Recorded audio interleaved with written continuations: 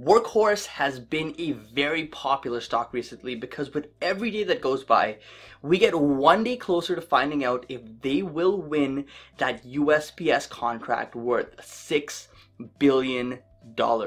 Now this is news to you well the USPS or United States Parcel Service plans to spend $6 billion to replace its aging tired fleet of boxy long life delivery vehicles. These vehicles were developed by a company called Grumman back in the 1980s and 1990s so it's about due time for them to replace them. The contract will be for around 200,000 new delivery vehicles and they are trying to incorporate electrification to make the fleet more efficient.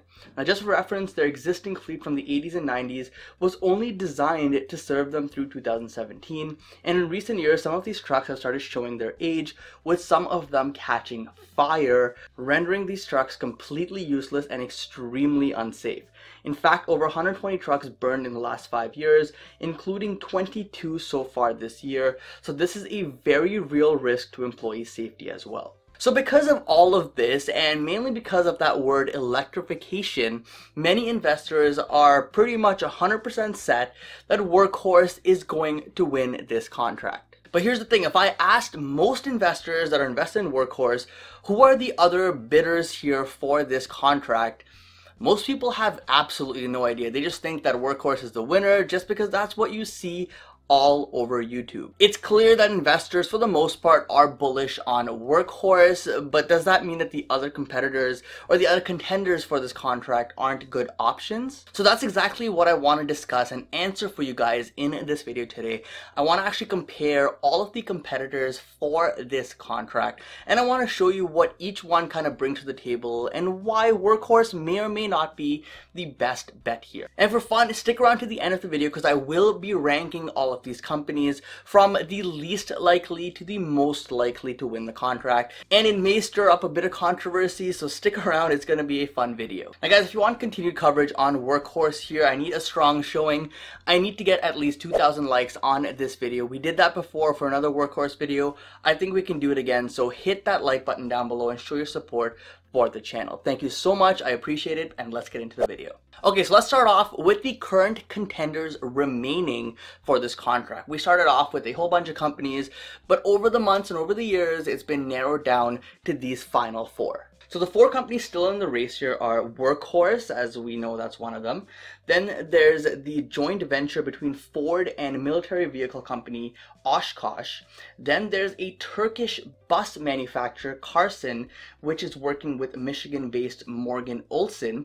And finally, a company from India called Mahindra.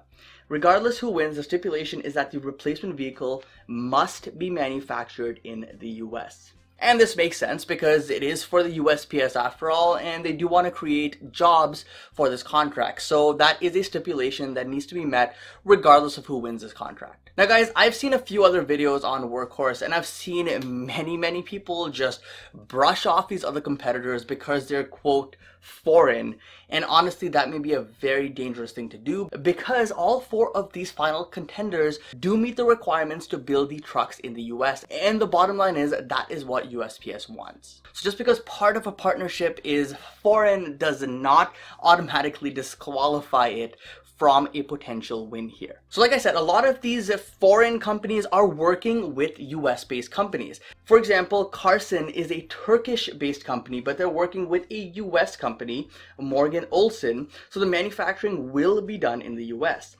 Mahindra, another foreign company, and they're an Indian company if you couldn't guess from the name, has their engineering and design proposal led by their Southeast Michigan based Mahindra North American Technical Center, or MNATC for short, and this is headquartered in Troy, Michigan, which once again means manufacturing will be done in the US. Then you have the other contender, Oshkosh, with Ford, and both of these companies are actually US based. Oshkosh, in fact, has ties with the US military for vehicles that they produce there, and Ford, well, everyone knows this is an American icon. So really to say that none of these other three competitors, apart from Workhorse, can win this contract because they're foreign, I think that's kind of a weak argument because they all clearly will be developing the trucks in the US and they all clearly have a relationship or have a partnership here with a US based company. And if you just read the media and especially here on YouTube, you'll probably be 100% convinced that Workhorse is the clear winner here. 100% no doubt about it. But all I want to do with this video is just challenge that thinking, just kind of, you know, see the other side of the coin here. Maybe Workhorse does have a strong argument. Maybe Workhorse does end up winning, but does that mean these other competitors don't have a chance at all? Let's discuss that a bit further now. So here's a comparison matrix I put together going over the four remaining contenders and each option that they plan to develop. The offerings are very different and it'll really come down to USPS's future plans. Are they ready to go fully electric? Maybe they want to continue with ICE vehicles or maybe they want to land somewhere in between with a hybrid option.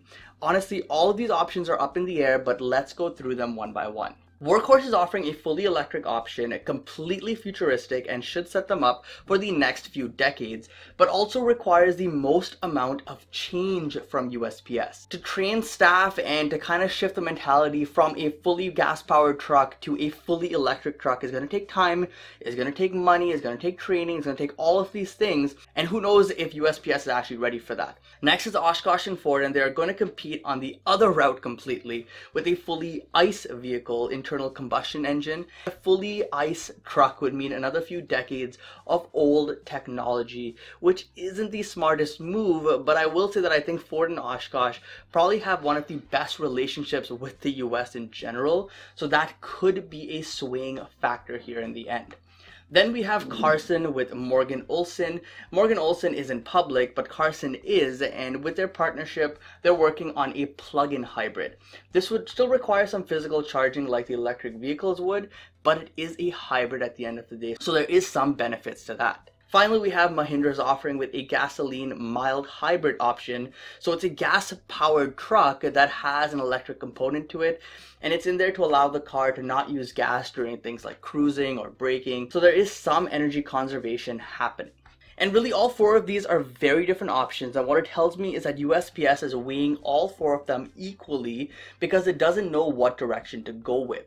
Yes, the government is pushing them to go electric. Yes, the government wants cleaner energy. So there's a higher possibility of an electric based player winning this, but you never know. So you can clearly see that all four of these options are very, very different. You have one extreme with electric, the other extreme with gas, and then a couple options in between. There's none of them that really overlap directly, which tells me that USPS is still undecided on what route to go with. So in my opinion, here's the part you guys are waiting for. This is how I would personally rank these four companies to win this $6 billion contract from least likely to most likely. So I think Mahindra with their mild hybrid, you know, gas powered option is the least likely player here, mainly because these are still primarily ICE-based vehicles, and the benefits of having a few advantages of hybrid but not all of the advantages doesn't seem appealing enough for a full fleet refresh. Also, they probably have the weakest relationship out of all these companies here with the USPS or the US government. So whether USPS admits it or not, I think that's going to be a big deciding factor.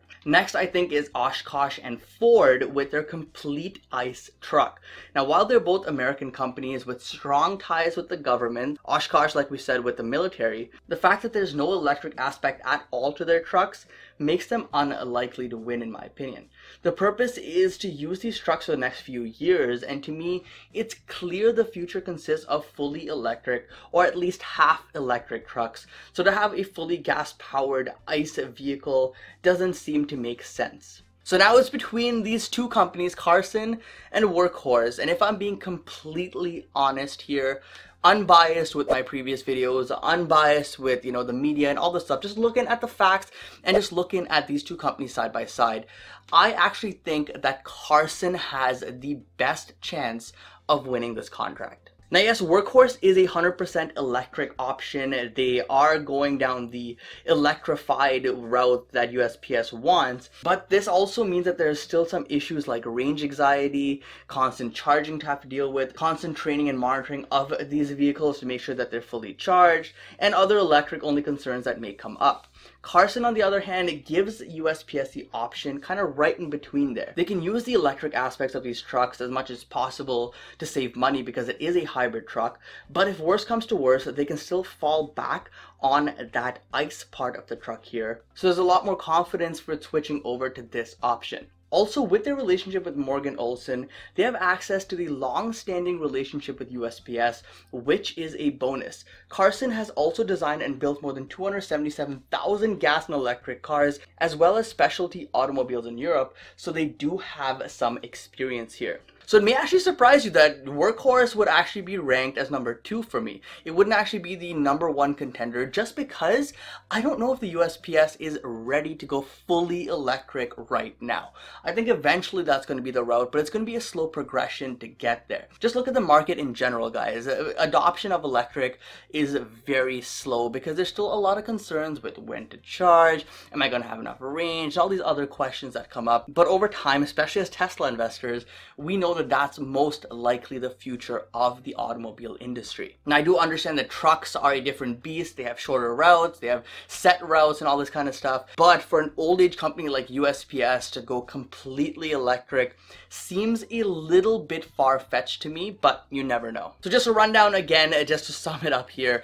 The least likely is Mahindra, then we have Ford and Oshkosh, then we have Workhorse, and then finally at the top, we have Karsan with Morgan Olson. Honestly, when I first looked at the names of these companies, I thought, okay, Ford's in here, I think they have the best shot at winning. But then when I found out that they have a completely ICE vehicle, that's when I was like, really I, I don't really think that they have a chance anymore because that will be a really really bad image for USPS if they go completely gas here.